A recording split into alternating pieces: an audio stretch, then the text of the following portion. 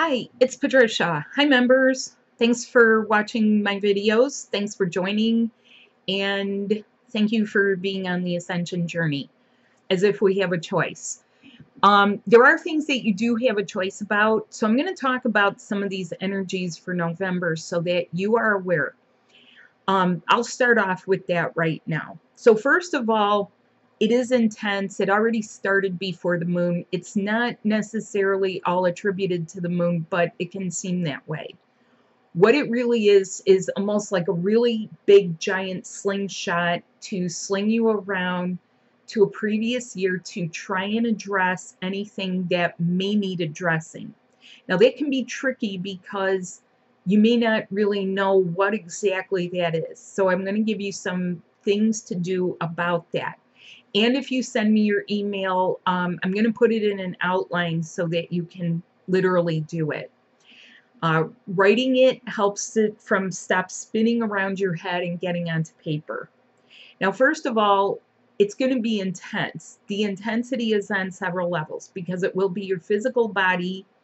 It is your metaphysical side, which is your energy bodies, or as they are truly called, your complex of subtle bodies. Okay, they all go together, just like you could say in your chest, you have a complex of organs that all need to interact and work together, right? So it's no different with your light body. Uh, it's not just chakras, um, there are connections that you share with each other, like here. So if you think about two people facing each other and hugging or kissing, there's parts of you that link up. Don't worry if you're not there yet. This is a process and it does take a little bit of time. We are rounding the corner on a lot of the disentangling that has been taking place really in earnest over the past whole year and a half. And you could literally say during the pandemic.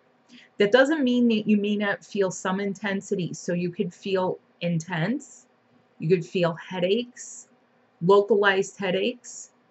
In those headaches is going to be um, things like getting hit as a child, things like childhood uh, injuries, mild ones like bumping your head, falling off your bike, accidentally, you know, doing something klutzy like you open a cabinet and then you raise up and it's right there.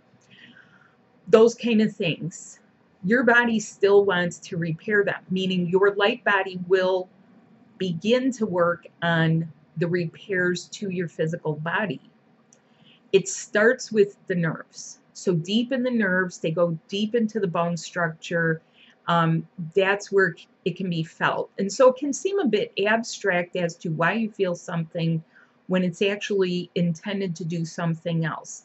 That's when we trust and we have faith in the unseen because it will um, take place and your part in it is going to involve just acknowledging it, proper self care. Now, what else? There's a lot of focus in and around the head. This is going to include sensitivities. It is going to include emotional sensitivities. It is going to include your reasoning. It is going to include your memory banks, and it is going to include things that are physical, such as allergies, food sensitivities, the kind of things that would give you a headache. Like if you know you're allergic to something, it gives you a headache. If you know that there's some irritant in the air, such as cigarette smoke, it, and it disturbs you, it is um, going to show up a bit amplified because your body literally wants to deflect that. Now, how do you do this? How do you do it? Well, what I'm going to recommend is um, through the week, if you're an American and you celebrate Thanksgiving, even if you're not, I recommend doing an intermittent fast. So what you might do with that is um, one solid meal a day. The other meals make them liquids like a smoothie, tea, juices, and also um, soups, uh, but real brothy soups, you know, nothing too solid in there. Stay light, okay? It helps you almost stay light on your feet so that you skim through because it is going to be a week of overindulgence. You can feel that from the collective. You will feel things like brain fog, stress, The more you detach the earthly things, the easier this will be for you. And that includes foods, foods prepared by other people. This is a real biggie for some people. No caffeine. So please refrain from caffeine uh, post full moon if you can for a week. If you can't, a minimum of three days. And if you need a substitute, um, please see one of my videos, which is I talk about some coffee replacements because a lot of people do enjoy coffee. Not right now. Please refrain from it because it's going to be one of those stressors that you can feel from the collective. And people that are already nervous, tense, driven, you know, they may be in, you know, in an industry that is serving the public, such as the airline or travel industry. You don't want to feel them. They're quite literally running on caffeine and stress and anxiety and adrenaline and cortisol. So please don't give in to that refrain. It will help you quite a bit. It will help you rest. It will help you really get some of your energy back, almost like the ebb and flow of an ocean where you're quite literally taking things back from, you know, the collective. Okay. But when I say the collective, it really means worldwide and it will be your country, you know, like whatever your country is going through. In the United States, we're going through a holiday. So, you know, there's that stress, whether people are working the holiday, avoiding the holiday, or making a big to do about the holiday. It's there. It's a holiday. Okay, what else? Well, you can feel vulnerable. You can feel very stressed, okay, because your emotional side is all connected up here. It's in the things you see, it's in the things you feel, it's the things you feel for, it's the things that affect you. You can feel vulnerable and stressed all at the same time. It can feel very raw for you.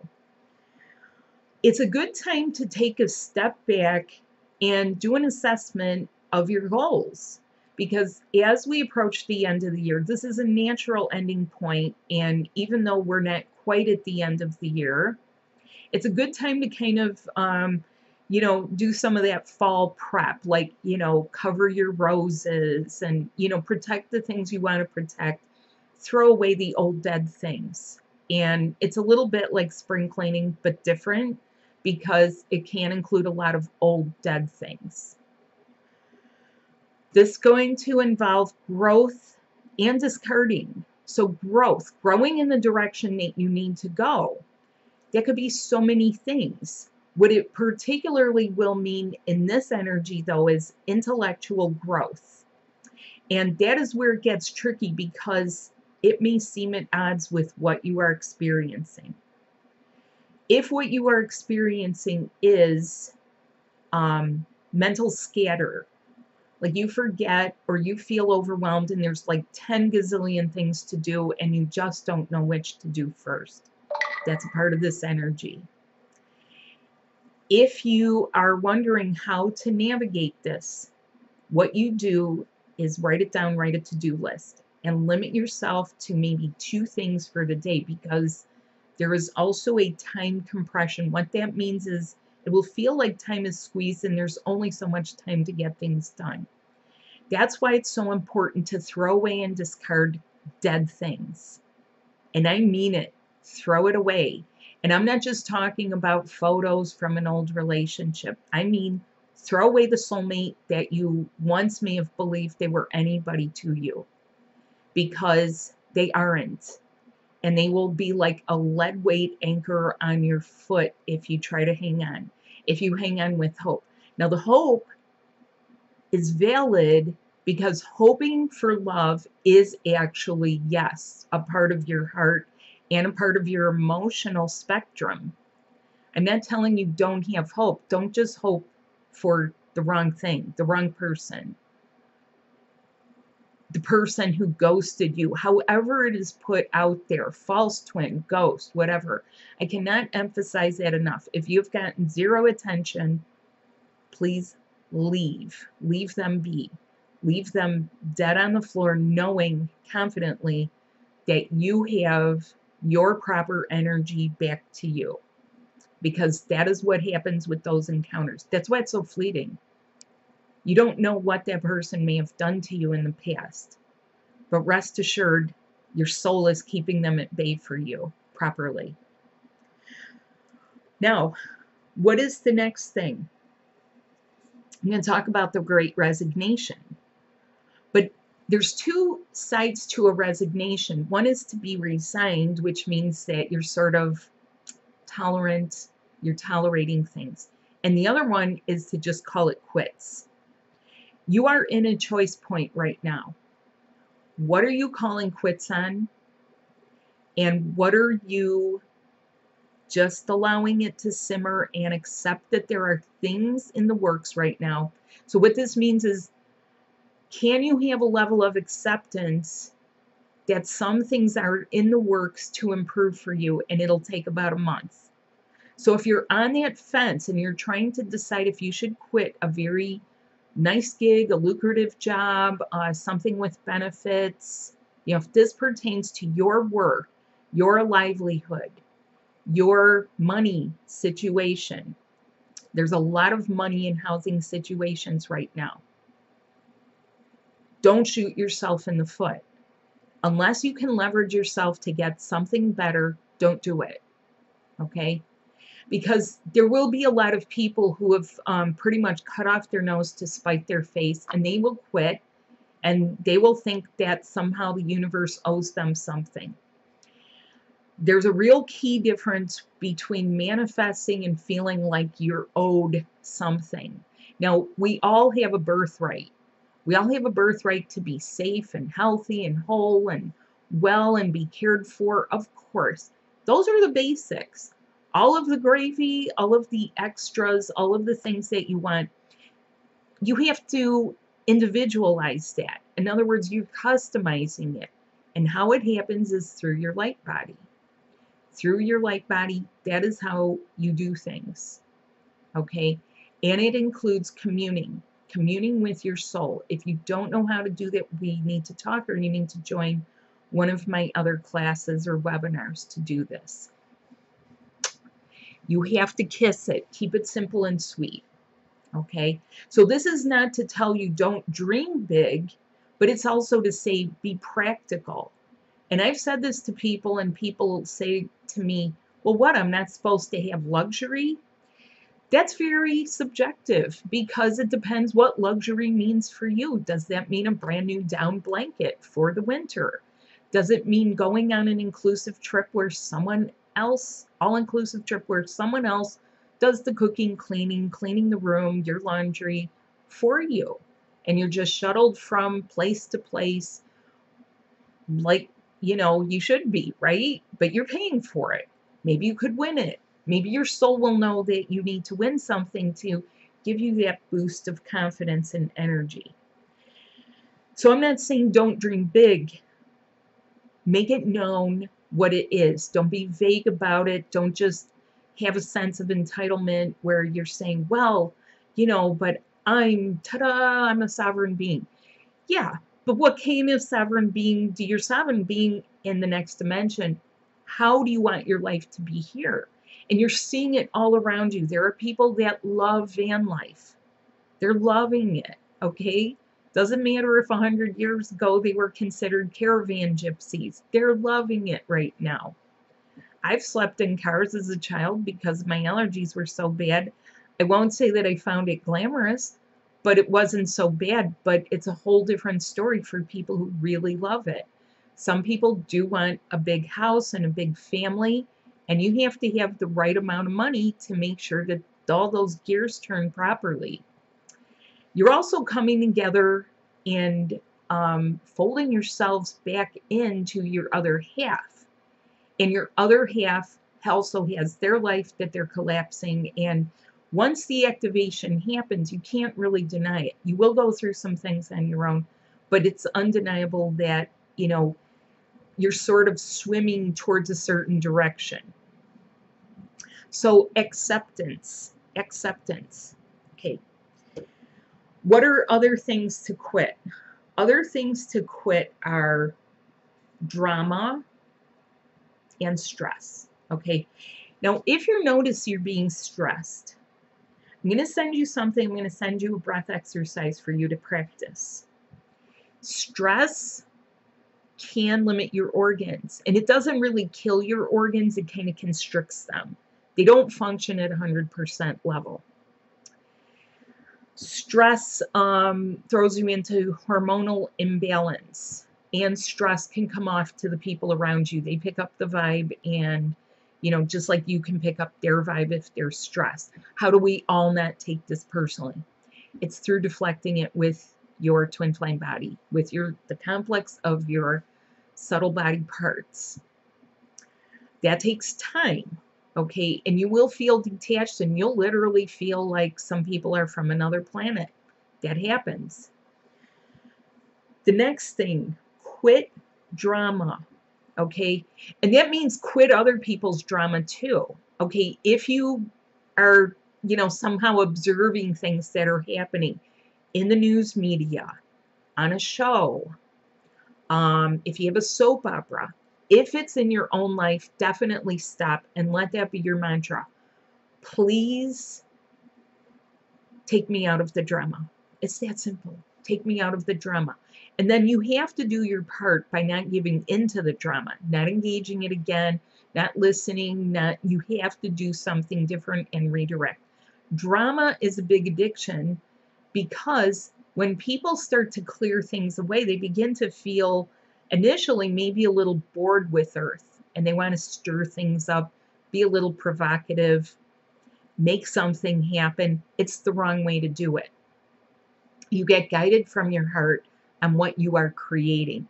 What we're not creating is more drama. Yes, there are people who will still do drama. There are people who are constantly in a state of crisis and they're going to pull everyone down with them. We see it all the time. You could see it in the news that there are people that go join other people's drama, it gets them in trouble. Stay away from the trouble, stay away from the drama. You don't need it. Your body genuinely needs a break away from all that stuff. So, what does that take? It means don't look for it, don't watch it, don't seek it, don't engage it. Okay? Turn off the media, turn off the news sources, turn off the radio where you might hear it. Literally put yourself in a bubble because that is your love bubble. Get off the phone with people who call with their drama and stay off the social media where everyone is like emotionally dumping in forums and comments and you know they're not properly addressing their own stuff. Yeah they're looking for sympathy yeah you might you know get a little boost out of being the shoulder to cry on don't go there because it's not just your shoulder it's your shoulder and the shoulder of your other half. Okay? Now, if you're helping someone genuinely to step out of their drama with some genuine help, but they are doing the work, that's a different story. Like if it's your kid, if it's your child, a teenager, an adult teenager, you know, like when they're still young, but they're they're still learning. If it's people around you, if it's boy trouble, if it's girl trouble, if it's a divorce situation, people around you are going to be having their lives changing because that is the nature of this energy. It is to change because if nothing changes, then nothing changes. You have an opportunity for self transformation. Okay, so we're accepting this. We're accepting that there's been a huge sea change. We've all been underwater exposed to the elements. And, you know, the pandemic was a big reminder of this, and it should be an opportunity to see what it is that you really value. You know, do you value friendships? Do you value genuine family time? Not just the obligations. Do you value having some real life goals that are attainable and that your soul is ready to help you with? Do you value this as an opportunity where we're starting to see each other as individual people and our gifts and our our you know like our strong points are we starting to shine to each other again? Or are we just still seeing each other in a 3D way and you know going with stereotypes? No. No. That stuff's being ripped off of the heart the hatreds the eyes and it happens through the light body. The big giant thing that has happened has been here, okay? Deep inside where all that stuff has been so embedded in. Out. Get it out. Everybody out. So, thanks so much for watching. Please uh, make sure that you are aware of addressing some of these things. Thank you and have a good month. Have a good day. Have a good week. Have a good holiday. Bye.